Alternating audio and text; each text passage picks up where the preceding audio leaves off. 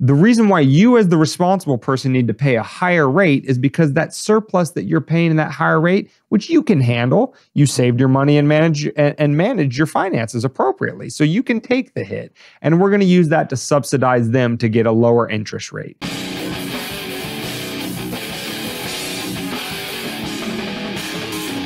With that being said, we're moving on to the Culture Corner segment. And in today's uh, instance of the Culture Corner, what is the government trying to do other than create a culture of underachieving, which dovetails quite nicely with our meme segment. And what we're talking about in this instance is Joe Biden and the uh, new rules passed by the Federal Housing Finance Agency, which is punishing first time homebuyers well, I don't even think it's first time. I think it's anybody getting a mortgage. Um, I heard it was first time, but they, why stop there? You know, yeah. Why stop there? Yeah. Um, whether it's first time or whether it's you know any time you apply for a mortgage for a home, uh, the Biden regime, in its infinite wisdom, has decided that if you are the person who did everything the right way, if you somehow, if you somehow managed to get through your 12 plus years of public education where they didn't teach you a dick all about personal finance, making sure you keep your debt levels low so you can keep your credit score high, so you can have enough cash on hand to put a sizable down payment on a home when it was time to buy. Do your you know, taxes. Right. You like, know, those basic bare minimum things that they didn't even bother to teach you in K through 12, but you somehow managed to still get it right. Well, the Biden regime now thinks that you should be punished for doing that. And what we're talking about is the Federal Housing Finance Agency's new rules that are now punishing you um, for home buyers that uh, have a credit score of 680 or higher. And I want to say that a perfect credit score is 800. I could be wrong on that, but I think a perfect credit score is 800. So 680's up there. Like you are a pretty responsible um, manager of your own finances if you have over a 680 um, if you have a credit score of 680 or higher, or you are able to put between 15 and 20% of a down payment down on your home, you are you are now punished with higher interest rates for the ostensible purpose of subsidizing people who didn't follow those rules, people who have a much lower credit score and don't have the cash on hand to put down a sizable down payment. They get better rates than you do for not following the rules. You know what? I actually appreciate this for once. I really do. I do. I like the fact that you're coming out right up front and saying, "Hey, I'm gonna f- you really hard." That's what your night is gonna look like. Um, because usually they're like, oh, we're going to change the tax code. We got to make sure that these corporations pay their fair share.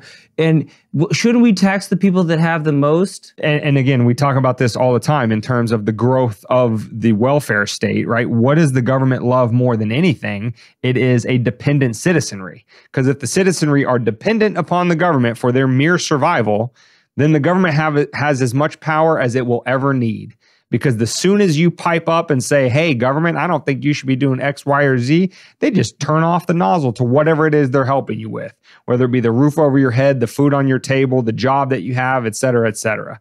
Um, that's what they love is a dependent citizenry. So let's discourage anybody from doing everything the right way. And what's another thing we always talk about on this podcast is about incentives and that with human beings being rational actors, you need to align the incentives in such a way that in, that encourage human beings to make the correct decision, not only for themselves, so that they can be self-sufficient and not dependent upon others to carry their weight for them, but also so that maybe they'll have a little bit of surplus to voluntarily help out those who can't help themselves, you know, when and if that situation arises. But the government wants to completely level the playing field uh, uh, and and they'll they'll say this is for like again they will stand up in front of a podium and defend this all day long and say, no, we're just trying to help those other home buyers who didn't follow the rules, who did not manage money properly, who didn't save for the down payment. We're trying to help them get in a home because The reason why you, as the responsible person, need to pay a higher rate is because that surplus that you're paying in that higher rate,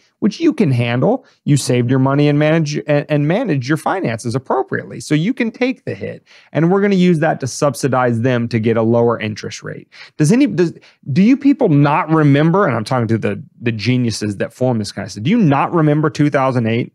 Do you not remember the subprime loan crisis that that fed into that? The fact that when you give everybody a chance, no matter how irresponsible they are with money, then shocker, they might default as soon as things aren't aren't all sun, sunshine and roses. Dan, I think they do. That's they they want to create the situation again, again by misaligning the incentives. It seems like they want us to bear the burden, though. Of it course. seems like they want us to make up. They want us to take the hit for the big banks that keep giving loans to people that can't. Because it's always our fault. Anyway. Of course.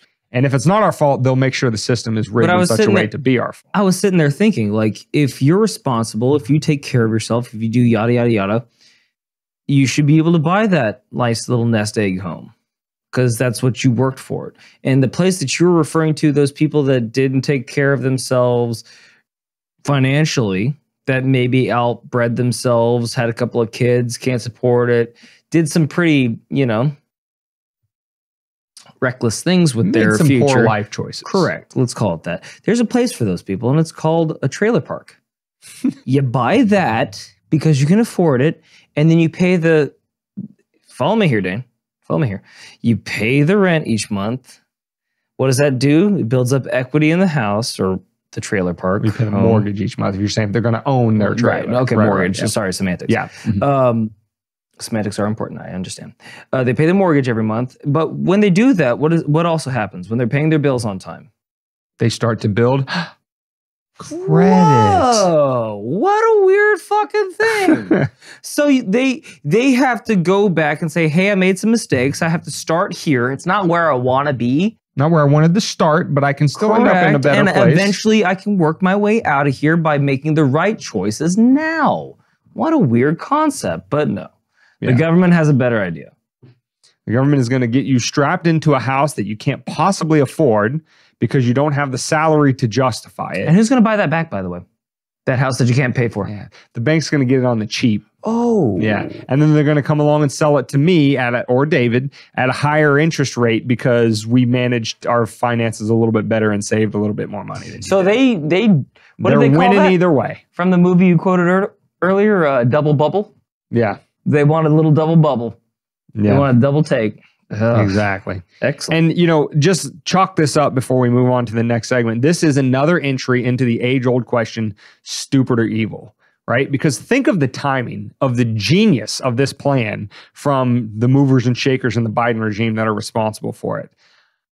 After about 18 months of rapidly rising interest rates, because they had to tamp down inflation that they caused, right? Those rising interest rates from the Federal Reserve have made mortgage interest rates also go through the roof, which has tamped down, you know, thrown a, a damp cloth on the on the housing market already. Right, buyers are discouraged from buying when interest rates are going through the roof. So they created a problem in inflation. The solution to that problem has created another problem in the housing market. And then, right at the time that that's basically at its peak, when inflation finally starts to come back down, what do they do? They throw another, you know, damp cloth on the fire and say, now we're going to make it even harder for all of you that were responsible throughout this whole storm and weathered it that we created. We're going to make it even harder for you to you know what they used to call us? Essential.